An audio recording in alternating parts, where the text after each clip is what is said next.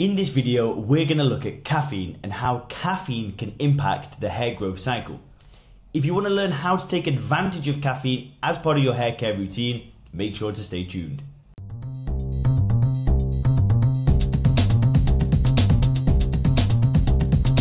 Hey guys, Leon here and welcome to the Hair Guard YouTube channel. If you're new here, we make tons of science-backed videos just like this one on how you can regrow healthy hair and combat hair loss. If you're new here, consider subscribing. The question of the day today is have you ever used a caffeine shampoo and what kind of results have you already seen? Let us know in the comments below. So what we're going to review in this video. Well, caffeine is almost everywhere these days and in this video, I'm going to go deep into the science of whether caffeine causes hair loss or hair growth and how it can actually do both.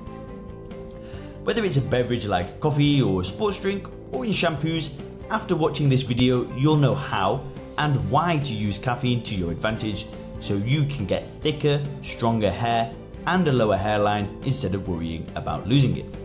This video, video goes deep and calls upon scientific research studies and our own personal experimentation at HairGuard and feedback from others after running the HairGuard website for five years. First things first, what is caffeine? Well, caffeine is a bitter, white, crystalline stimulant that belongs to a group of naturally occurring alkaloids of the methyl, uh, methylxanthine class.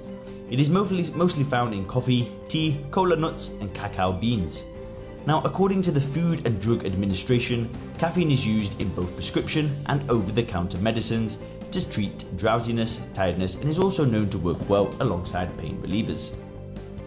For these reasons, caffeine is very popular among people across all age sets, and chances are you have probably consumed it frequently. So, guys, before we show you how you can start using caffeine in a hair care routine, we're going to review the science, we're going to look at how it actually works and how it can benefit your hair.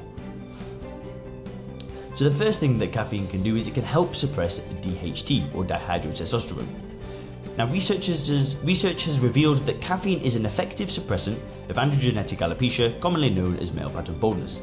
In one in vitro study, scalp biopsy samples from patients suffering from androgenetic alopecia were cultivated with different concentrations of testosterone and or caffeine for a period of 120 to 192 hours. The biopsies were taken from 14 male patients ranging in age from 20 to 45. Each page was classified between a stage 3 and 4 on the Norwood Hamilton scale for hair loss. And this is what the Norwood Hamilton scale looks like. So we can see um, it's, it's, like a numbering system, and then dependent on how far along the um, how far along the baldness has gone on, that's kind of the number that they get. So as mentioned, these were between stage 3 and 4. So you can see the kind of level that they were at here. Now, the cultivated hair follicles were split into three groups control, which contained various levels of testosterone, caffeine, which contained various levels, and both, which cultivated in testosterone first and then cultivated in caffeine in various concentrations. Now, after a period of 120 to 192 hours, the follicles were removed and researchers studied hair shaft length to determine the efficacy of caffeine, and we can see some of the results on the right. Now, as shown, the longer the follicle was exposed to caffeine, the longer the hair shaft became. There was even a slight difference in the elongation effects of the two different concentrations, though it's quite negligible. However, this wasn't the only thing that researchers found. Surprisingly, hair follicles that were exposed to caffeine, even after exposure to testosterone, showed positive and significant elongation. Addition of caffeine in amounts as small as 0.001% were found to counteract the suppressive effects of testosterone on hair growth, with higher shaft elongation achieved compared to the control group. Also, caffeine can help to stimulate hair growth. Now, even more than just suppressing the effects of dihydrotestosterone, caffeine has been shown to actually stimulate hair growth in human hair follicles. Let's take a closer look at the research behind this intriguing finding. Now, whole human hair follicles were extracted from the scalps of both men and women. The men were confirmed to be a stage 3 to stage 4 on the Norwood Hamilton scale, while the women were normal. After a 24 hour recovery time, the hair follicles were cultivated in one of three mediums testosterone only, testosterone plus caffeine, or normal medium as a control group. The total culture time was 120 hours. So, what did the study teach us? Well, caffeine enhanced hair shaft elongation. Just as the previous study showed, the presence of caffeine, even after the hair follicle has been exposed to testosterone, can elongate the shaft. Interestingly, the elongation was shown to be different between men and women. In the previous study, concentrations of caffeine were as low as 0.001%, and they were found to be effective in counteracting the effects of testosterone. However, these were shown to be too high for women, and the concentration was lowered to 0.0005%. This proved to be beneficial, and results were shown to be similar to those of male hair follicles. Also, caffeine prolonged the anagen phase. Now, there are three stages within the hair growth cycle. You've got anagen, catagen, and telogen, which is the active, transition, and rest phase. In men and women with androgenetic alopecia, the process of follicle miniaturization shortens the anagen phase. This results in less hair growth. Now, by prolonging anagen phase, the effects of dihydrotestosterone can be counteracted. As shown by researchers, this is exactly what caffeine was able to do. When exposed to testosterone, the percentage of male and female hair follicles in anagen phase reduced dramatically to 39 and 55% respectively. When co-incubated with caffeine, though, these percentages raised to 70% in men and to 65 and 60, 63 and 65% in women.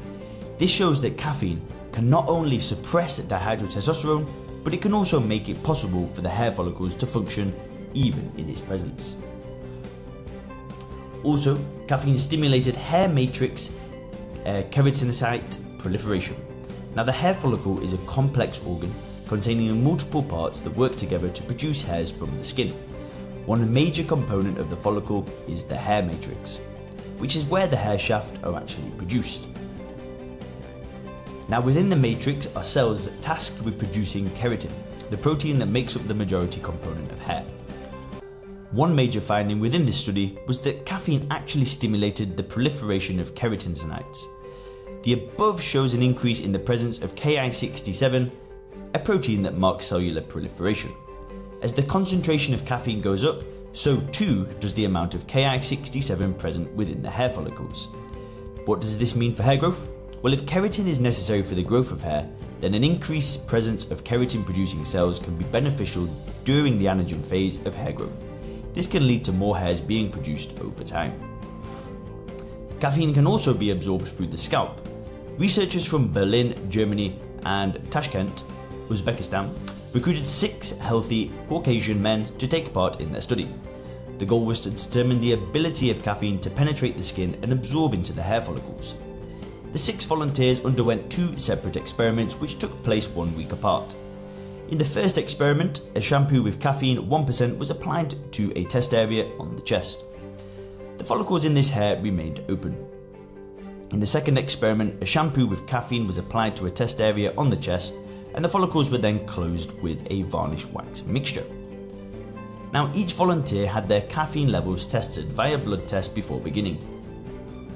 The shampoo was washed away after 2 minutes, and blood samples were taken at 5, 10, 20, and 30 minutes as well as 1, 2, 5, 8, 24 and 72 hours after the caffeine shampoo application. In the first group, it was found that caffeine levels could be detected in the blood as early as 5 minutes post application. The concentration showed at 6.3 uh, nanograms per milliliter. In the second group, though, caffeine levels were only detected once 30 minutes had passed. Researchers theorized that the inability to permeate the follicles significantly slowed its absorption this shows that when in the presence of follicles, caffeine is able to be significantly absorbed. So, what amount of caffeine is actually healthy for your hair? Scientists estimate that you have to consume about 60 cups of coffee, the main source of caffeine, for you to ensure that the amount reaching the hair follicles is significant. However, that would be a detriment to your body and would put you at risk of a heart attack.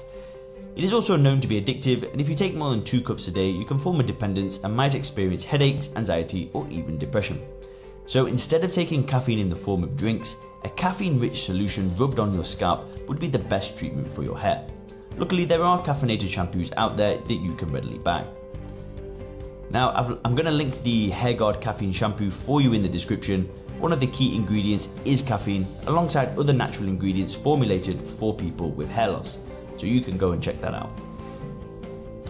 So guys, that's what we wanted to share with you with the science of caffeine on hair and how it can impact hair growth. Make sure that if you are new here, make sure to hit subscribe and I will see you in the next video. Thanks.